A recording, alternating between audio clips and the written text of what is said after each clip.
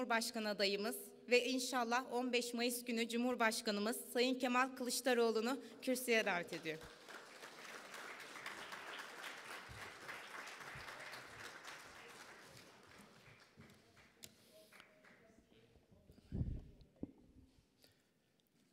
Sayın Davutoğlu, Cumhurbaşkanı Yardımcımız, Sayın Ekrem İmamoğlu, Cumhurbaşkanı Yardımcımız, değerli büyükelçiler, değerli misyon şeflerim, Sayın Davutoğlu cümlelerini bitirirken yolumuz zor ve çetin diye bir cümle kullandı. Biz zorluğu ve çetin koşulları akılcı politikalarla aşmak istiyoruz. Altı liderin bir araya gelmesi, temelde demokrasiye duyduğumuz özlemden kaynaklanıyor. Bizim insanımız neden üçüncü sınıf bir demokrasiye layık?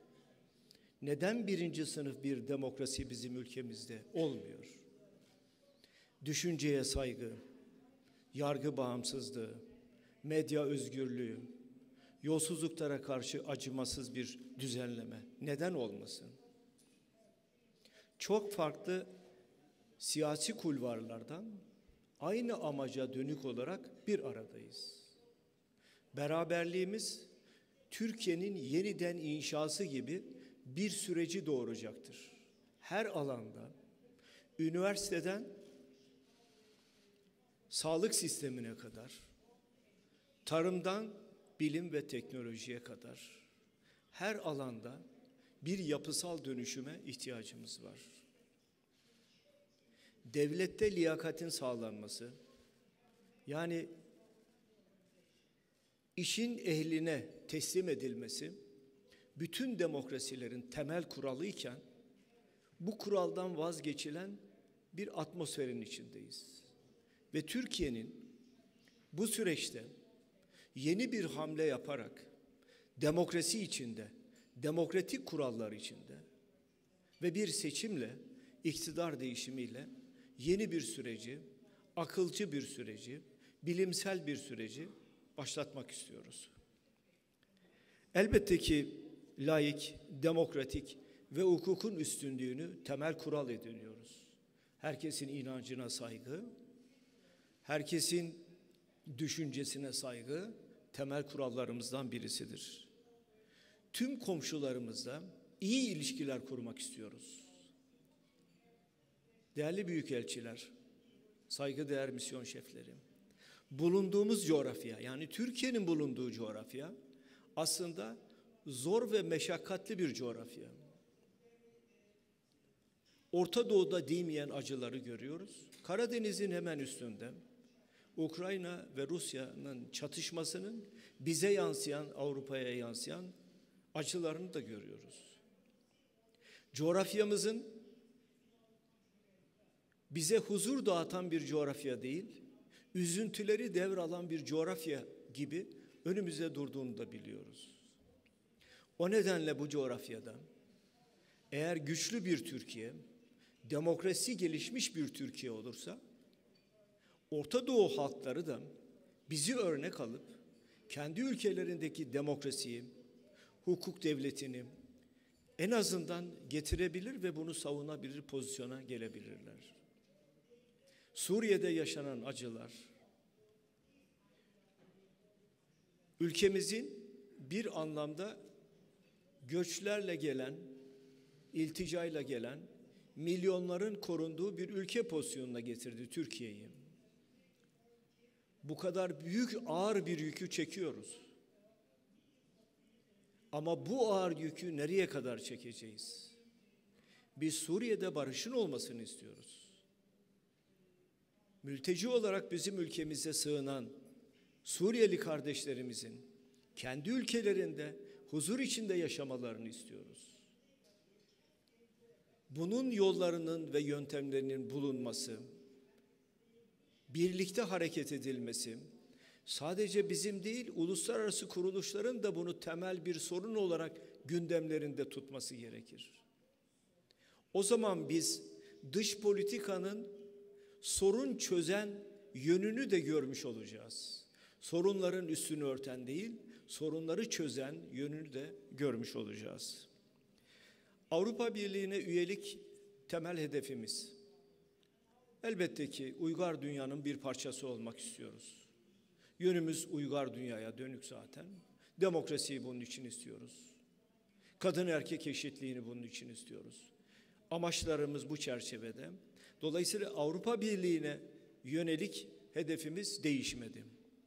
Biz Avrupa Birliği'nin yeni bir fasıl açmasını dahi beklemeden bütün kuralları kendi ülkemizde hayata geçirmek istiyoruz. Asya, Afrika, Pasifik, Latin Amerika ile ilişkilerimizin de gelişmesini isteriz. Teknoloji dünyayı çok küçülttü. İlişkiler artık çok kısa süre içinde kurulabiliyor.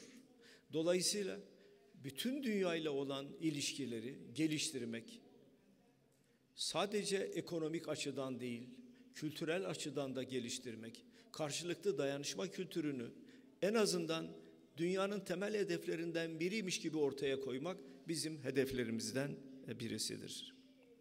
Uluslararası örgütlerle de ilişkilerin gelişmesi yine hedeflerimizden birisidir.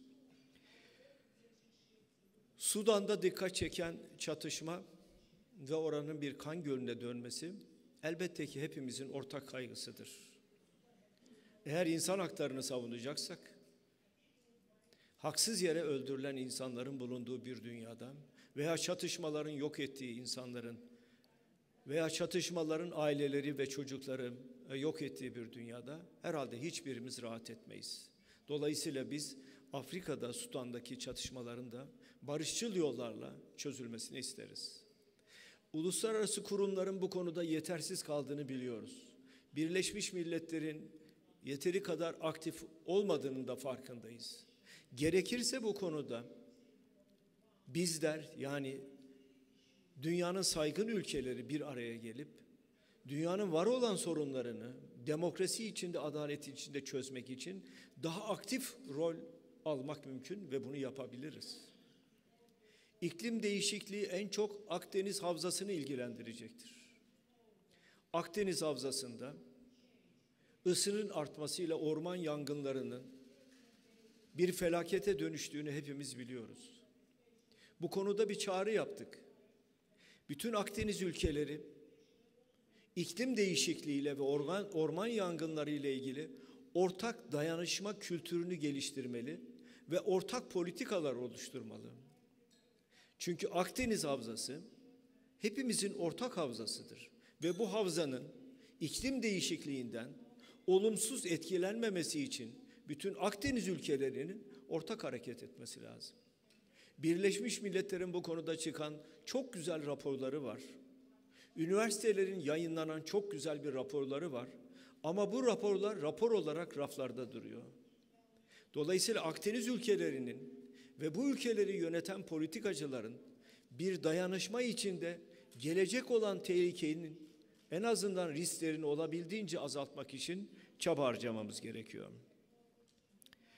Avrupa Birliği ile 72 kriterden 6'sı galiba e, tamamlanmadı. Onu da inşallah bizim dönemimizde gerçekleştireceğiz ve Avrupa ile olan vize sorunu da e, kısa süre içinde aşmak istiyoruz, aşacağız.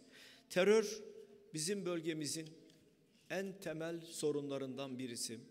Sayın Davutoğlu da açıkladı. Terör bir insanlık suçudur. Terör konusunda bütün ülkelerin duyarlı olması lazım. Çünkü terörün insanlık suçu olarak tanımlanmasından sonra teröre sempati duyan veya teröristleri koruyan bir yapının, bir anlayışın kesinlikle reddedilmesi ve bu konuda çok daha aktif politikaların geliştirilmesi gerekiyor.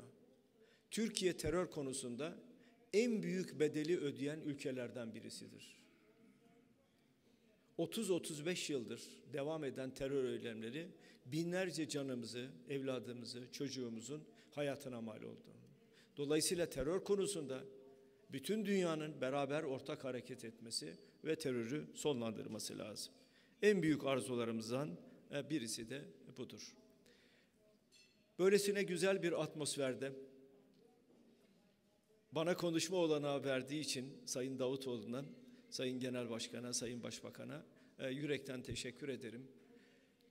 Benim söylediklerim aslında bir Türkiye sorunu olmaktan çok bir insanlık sorunu aslında.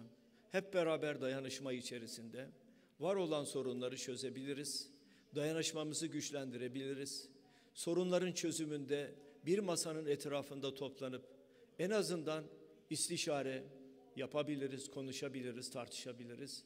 O zaman görülecektir ki sorunlar çok daha kısa sürede ve akılcı politikalarla çözülmüş olacaktır. Beni dinlediğiniz için hepinize yürekten teşekkür eder, saygılarımı sunarım.